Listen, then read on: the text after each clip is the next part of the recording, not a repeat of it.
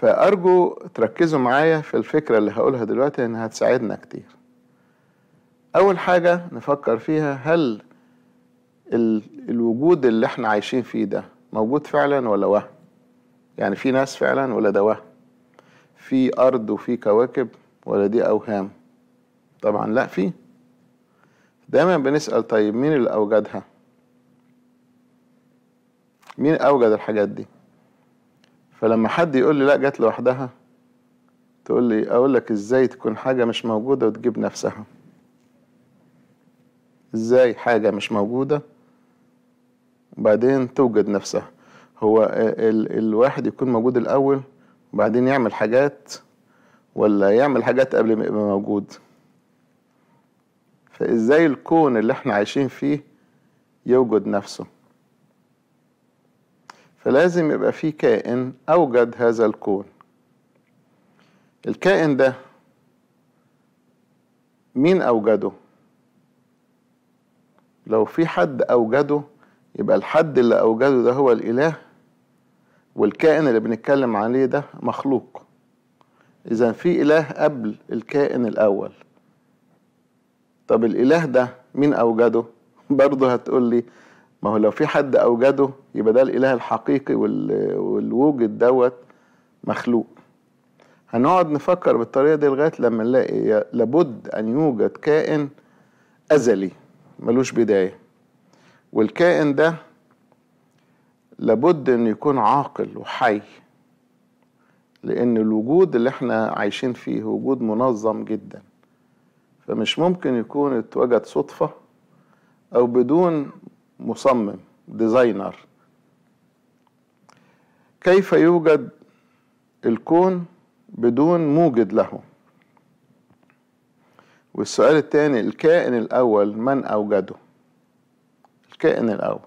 يعني أنا أقدر أعرف إن أنا وجدت في هذه الحياة لأن ليا أب وأم.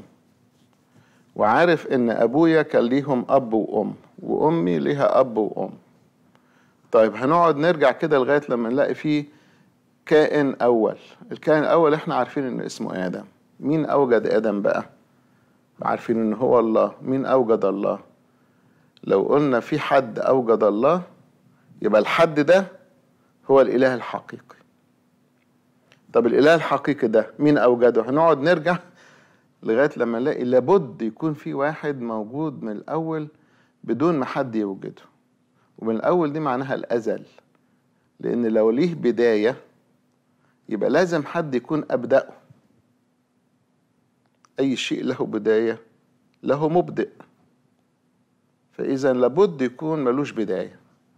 وحكاية ملوش بداية مش غريبة عن الفكر البشري لأن إحنا عندنا خط الأرقام ملوش بداية وملوش نهاية. أي طفل صغير بدأ يدرس الأرقام.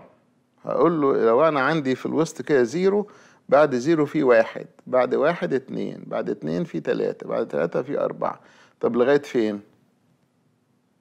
هل لغاية مية؟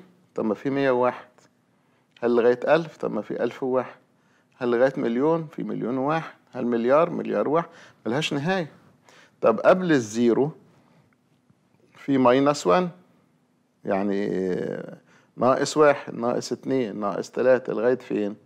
ما لا نهاية. فخط الأرقام ملوش بداية ملوش نهاية. مش كده بس. بين واحد واتنين في ما لا نهاية من الكسور. ما أقدرش أقول واحد واحد ونص اتنين. طب ما هو ممكن واحد ونص دي معناها النص واحد على اتنين. طب واحد على تلاتة واحد على أربعة واحد على خمسة واحد على ستة واحد على مليون واحد على مليار واحد على ملهاش نهاية. فإذا الأرقام نفسها بتشرح إن ممكن يكون في حاجة اسمها الأزل اللي هو ملوش بداية والأبد اللي هو ملهوش نهاية. إذا كانت الأرقام كده فكم يكون الإله؟ طيب لو حد سألني مين أوجد الله؟ محدش. هل أقدر أجاوب أقول الله أوجد نفسه؟ الإجابة غلط. لأنه إزاي هيوجد نفسه هو مش موجود؟ إذا هو كائن كائن موجود منذ الأزل وواجب الوجود. واجب الوجود ليه؟ لأن لو مش موجود يبقى مفيش أي وجود تاني. يعني إيه؟ أنا لو عايز الترابيزة لو مفيش نجار مش هعرف أجيب ترابيزة. أنا عايز طبيخ لو مفيش طباخ مش هعرف أجيب طبيخ ال- الكائن الأول قبل الحاجة اللي موجودة. أنا عايز عربية لو مفيش مصنع للعربيات مش هعرف أجيب عربية. فالصانع قبل المصنوعات.